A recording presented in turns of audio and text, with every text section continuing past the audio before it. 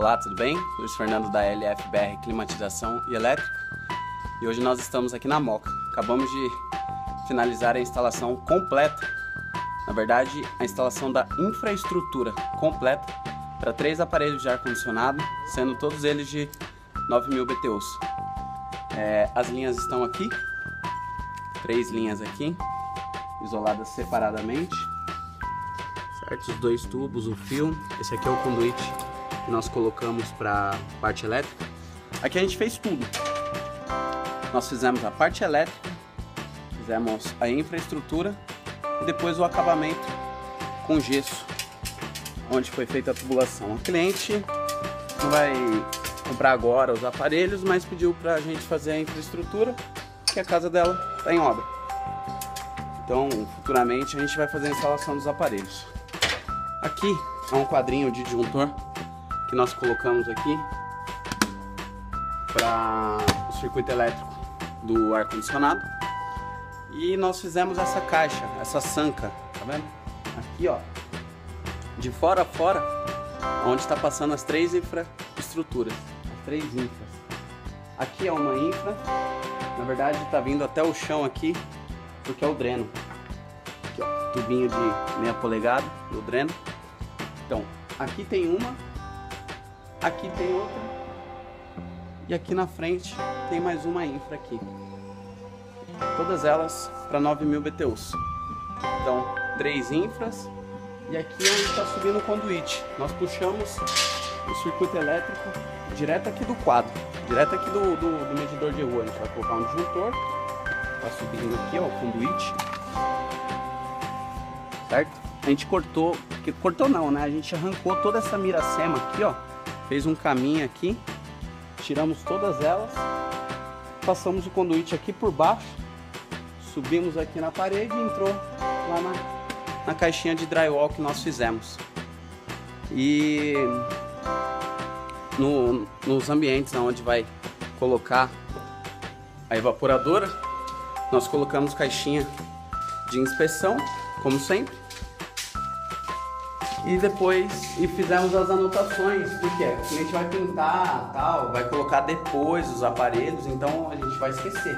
Então a gente anotou, tirei foto para depois a gente saber onde está. Então aqui ó tem uma infra.